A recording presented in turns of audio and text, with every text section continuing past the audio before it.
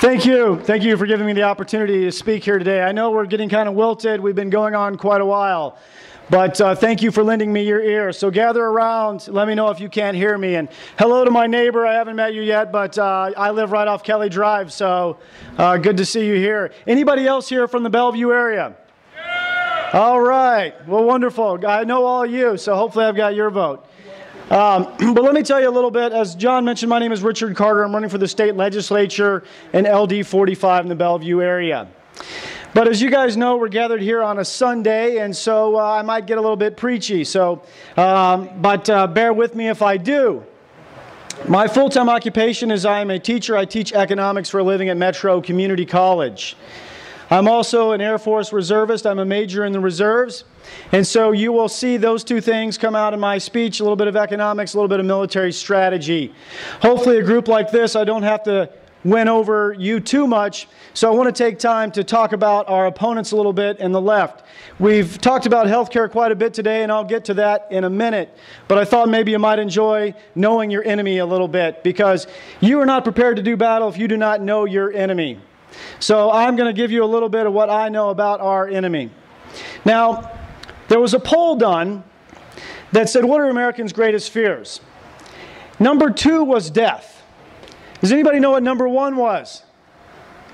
Public speaking. So, so as a comedian pointed out, that means at a funeral, you'd rather be in the grave than giving the eulogy.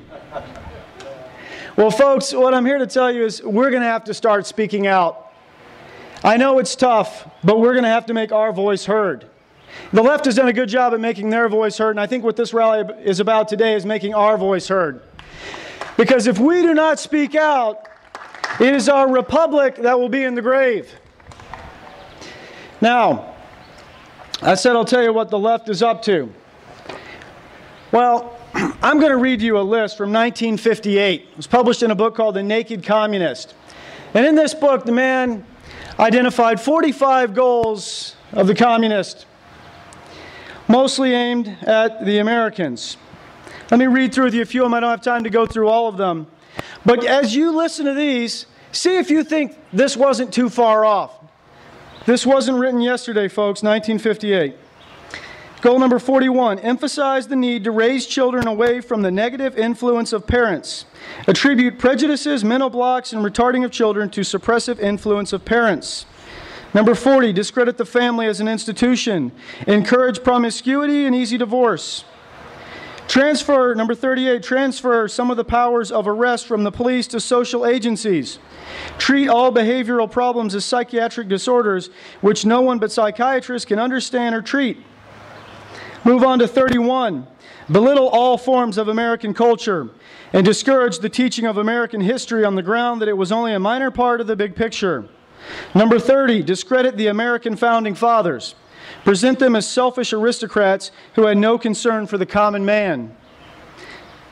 29. Discredit the American Constitution by calling it inadequate, old fashioned, out of step with modern needs, and a hindrance to cooperation between nations on a worldwide basis. So far, has any of that happened? Is any of that true?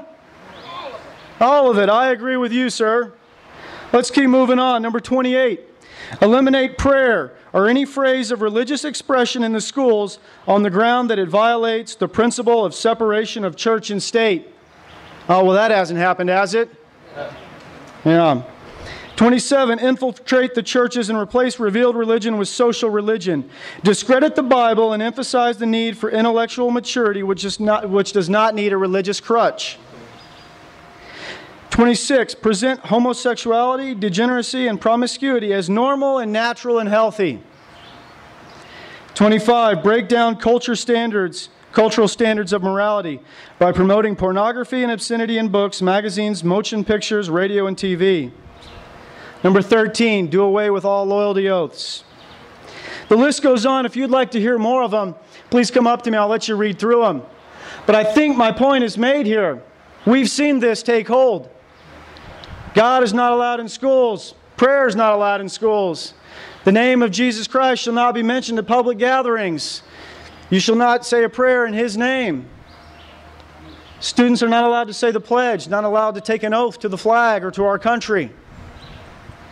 So the left has been up to this for a long time. Now, this healthcare ruling, I said I'd get to healthcare in a minute.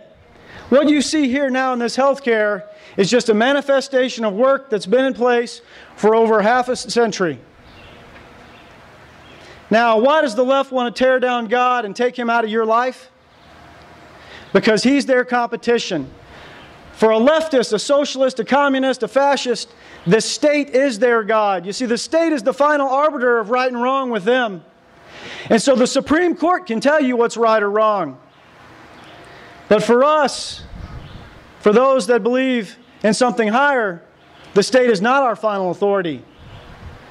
So Chief Justice can tell us that the state can do this. But we know right from wrong. For it is written on our hearts by our Creator. Independence Day. We do not get our freedoms and liberties from our nation or from our state. We do not worship our state. Our rights are given to us by our Creator. We know these truths to be self evident. And so, will they shut us up? They will not shut me up. I'd like to remind you of the prophet Jeremiah's words. Jeremiah 20, 9. Chapter 20, verse 9. And if I say I will not make mention of him, nor speak any more in his name, then there is in my heart, as it were, a burning fire shut up in my bones. And I am weary with forbearing, for it I cannot contain. Folks, the left will not silence us. We will speak out. We will continue to speak truth to evil. And we will speak truth to those in power. Please join me. We cannot let it stay contained within us. We know right from wrong, and we will stand up for right. Help us get there to the legislature. Help us get to Congress. Send Deb Fischer to the Senate. Send Mitt Romney to the White House. Send Lee Terry back to Congress. Hopefully, send Rich Carter to the legislature and John Murante and Asela Turco. And let us speak that truth. But please do not stop there. Because once we get there, we need you behind us, reminding, reminding us of that truth. So it only begins today, and it doesn't end anytime soon. Thank you very much. And may I remind you that on this Independence Day, we are not a nation that is independent, we are a nation dependent upon God. Thank you.